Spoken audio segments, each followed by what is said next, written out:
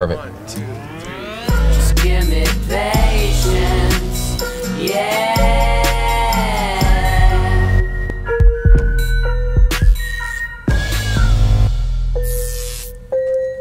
What is up, Z Pack? It's your boy ZDoggMD. Check it out. We are live and direct with Against Medical Advice, a really special episode because today I have a guest who took a very non traditional approach to becoming a doctor and an entrepreneur and an educator and a mother.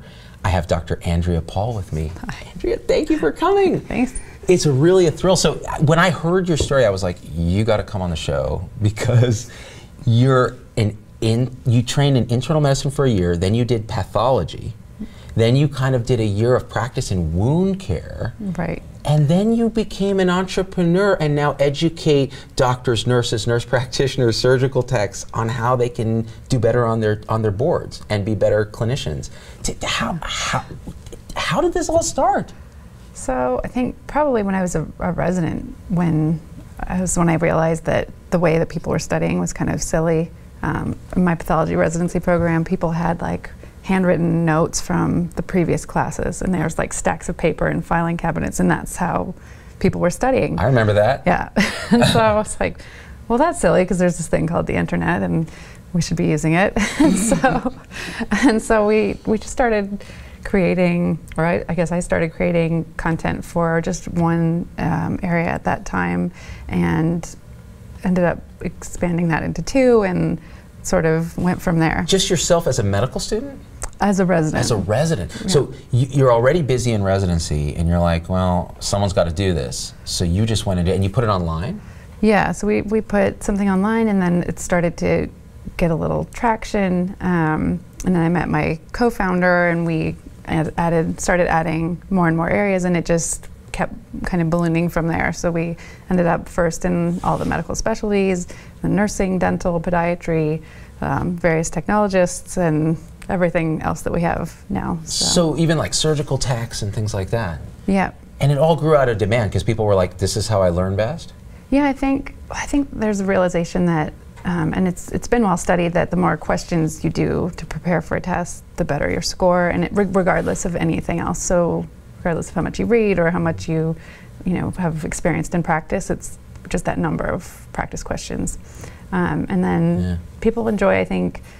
You know that being in that same situation where they're answering the question, they're able to see the explanation right away and say, this is what I would do next time, or this is, you know, so it's, it seems to just be a better way to wire it in than it is to, you know, just be reading and not having any assessment. So it's that interactivity with the actual stuff there on the screen that gives you better learning than just seeing it on a piece of paper or something. like. Yeah, yeah, it seems to be. I mean, it's been it's been studied, and, and people are doing doing great. So It, it makes sense because when I used to study in medical school, some active component of it, if I were highlighting or underlining, even if it meant nothing, Mm-hmm. it was that active piece that somehow allowed me to retain better. And Yeah. your, your um, thought about the, the research showing that actually doing the test questions is the best way to prep for it, I Mm-hmm. think is absolutely valid. And I used to actually, in the old days, I might have worked for a competitor of yours back in the day, building these board questions. Didn't we all? Didn't we all, right? and it's interesting because they had a, you know, the, the whole idea that we go through medicine trying to optimize how do we learn medicine. Mm-hmm. And you took a route where you said, okay, I'm going to do that. It became so big that after a year of practice, you were pulled into actually doing it as a, as a business.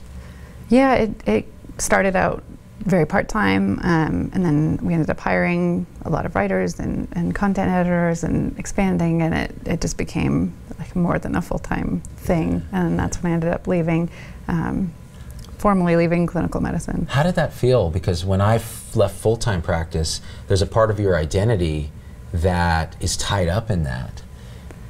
Yeah, I think I was, f- for me, it was something that I was I was always passionate about business. So I'd been doing entrepreneurial type things since I was a kid.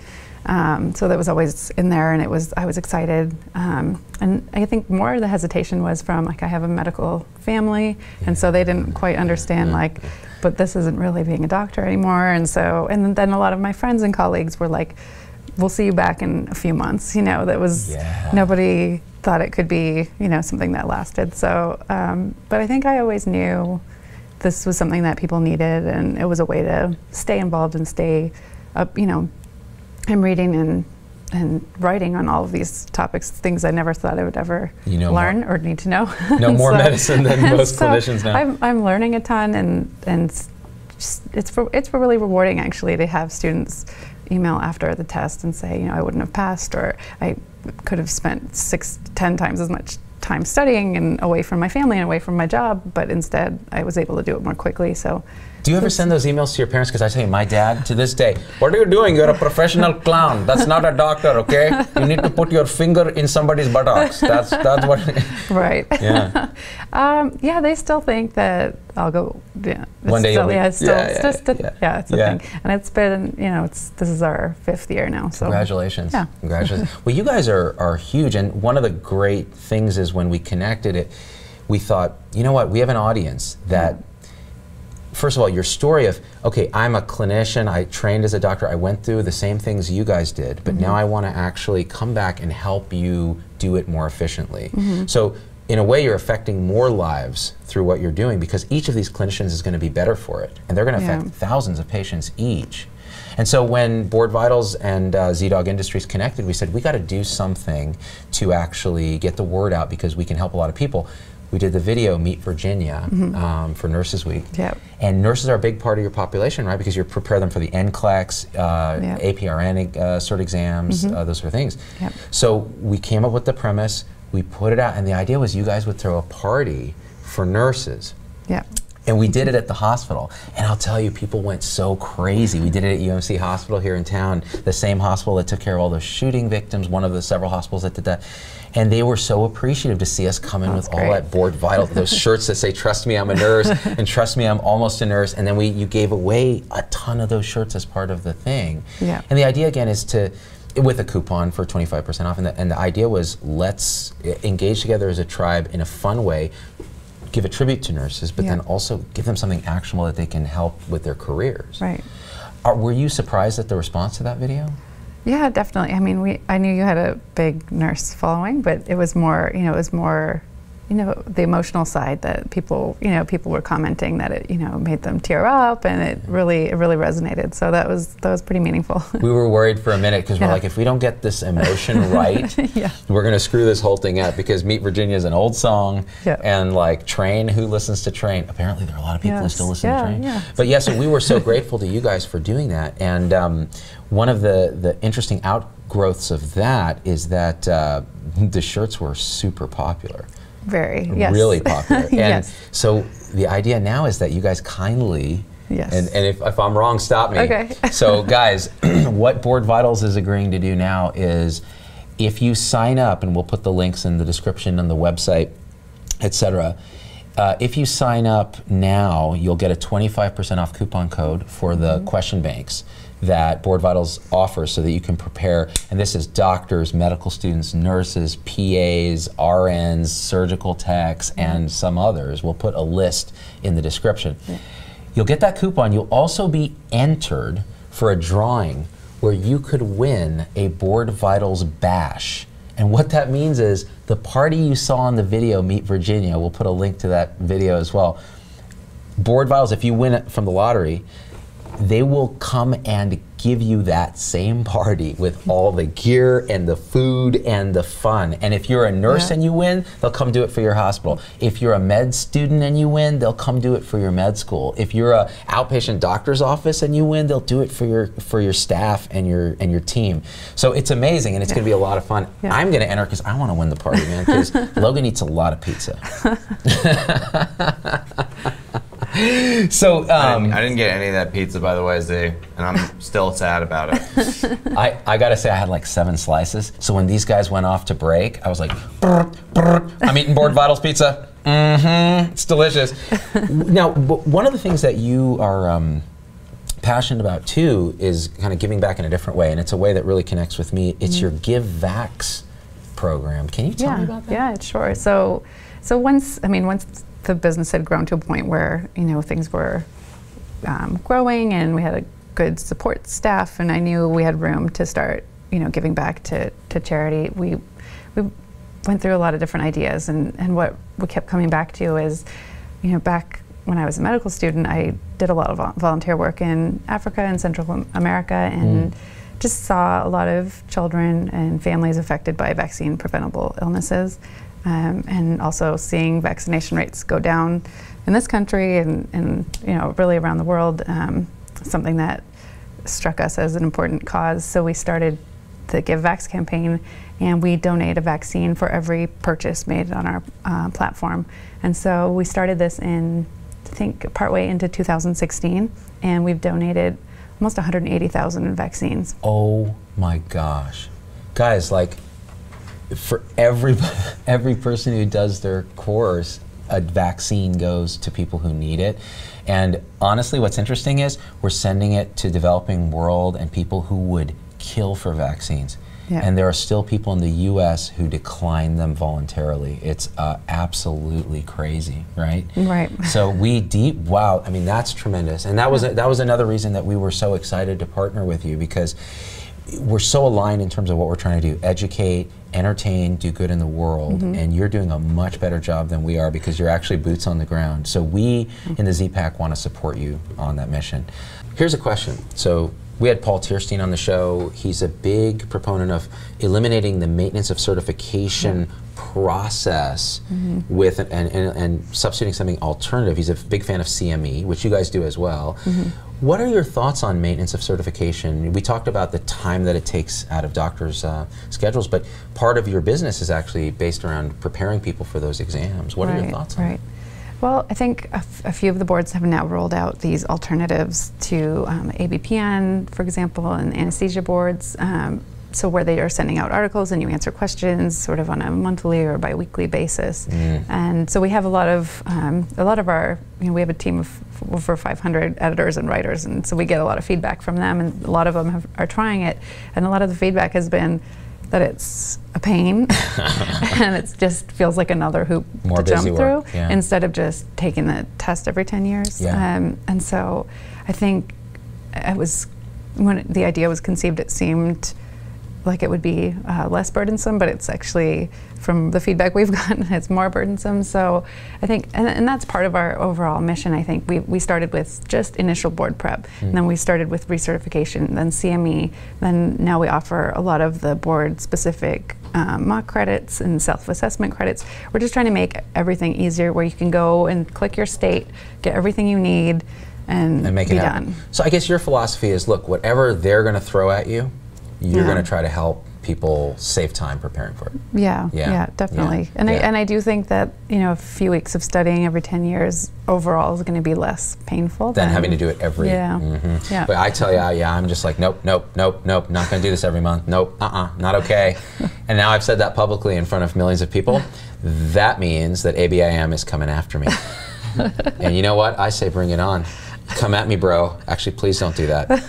I need to be board certified. Yes, and we like to be friends with the, the boards as Yes, well. But exactly right. Yes, yes, yes. Uh, but Um, yeah, you know, I think it's just just overall the life cycle of every health professional is a series of just hoops. Whether it's your hospital, you have to do cybersecurity training, or you know, whatever. It's constant. It's a constant barrage of, of requirements, and Yeah. so I think consolidating them is the best thing to do. Yeah, yeah, yeah. Well, you know, uh, Dr. Paul, I have to say, like, I am a big admirer of everything that you've done. I know how hard it is, and people. Here's okay. Last question. Yeah. I can't resist because I get this a lot. People in healthcare are very conditioned by family pressure, by societal expectations, et cetera, that medicine is this, nursing is this, being a PA is this Yeah. When you deviate from that, when you do something different that is in line with your passion and your skill, where, where the Venn diagram overlaps, I love this, I'm good at this, and I can make a living doing mm-hmm. this. When you're standing in the center of that, if those Venn diagrams aren't all clinical practice, people freak out. So doctors get mad at me because I don't practice full time anymore. Um, my parents are still freaked out, and every now and again I get a panicked call. You know, I was looking through Hospitalist magazine and I saw an opening in Las Vegas. Have you considered that? Yes, yeah. I'm like, Dad, did you see that uh, the average census for that doctor is 40 patients? That they're based paid on RVUs, which mean they're paid Yeah. to do things to people. What Yeah. part of my whole platform don't you understand? Yeah, yeah. But do you, what do you think we can advise to young medical students, nurses, people in healthcare who are trying to do something entrepreneurial Mm-hmm. that will give them um, hope that it's doable and it's actually crucial that you do it? Yeah. Yeah, I think, I mean, I think everyone should do whatever makes them happy and they're passionate about, but within, you know, obviously within the confines of having to survive Right. um, financially. And so I think there's always an opportunity, there's always a few hours in the week that you can shave down your clinical time to work on something Mm-hmm. that you're interested in non clinically um, or, you know, side clinically. Side hustles. yeah, Yeah. exactly. Um, and there's so many. I mean, there's so many things now where there's you know plenty of opportunity for for interesting side ventures or even things that are not related to medicine. I think it's important to if you're an artist or a musician to be able to have time in your week to do that so that you can doctor, nurse, podiatrist better. Better. yeah. Um, so that's, I think that's a, a good place to start. And if it takes off, then go for it. And if not, then you're enjoying your, your time and you're still, you know, ha- you still have your job to fall back on. And I think that's the nice thing about all health professions, really, is you you always have the clinical practice to fall back on if if something doesn't work out or if you decide you do want to go back, it's there. Um, so. I wouldn't uh, worry too I'm much. telling you, Dad, are you listening to her? Okay, she's got she's got big big business, also a lot of m- medicine in the head, and also you know got got going to give a lot of great things to ZPAC. Speaking of which, Dr. Andrea Paul, co-founder of BoardVitals, is doing a crazy offer. If you saw our Meet Virginia video, remember they are doing a offer right now where if you sign up, you get 25% off the question banks that they offer. And we're talking doctors, nurses, PAs, medical students, uh, podiatrists, um, um, surgical techs. Uh, there are a lot, some some little bit of dentistry too. And if you sign up, you get entered into a drawing to win a BoardVitals bash, like the party that they threw in Meet Virginia. And they'll come, they'll throw that party, and it will be dope. So sign up before it runs out because they only have limited slots. But it is a thrill to have you on the show. thank you so much. Are you going to enjoy Vegas while you're here? I'll try. It's only 100 One day. degrees today.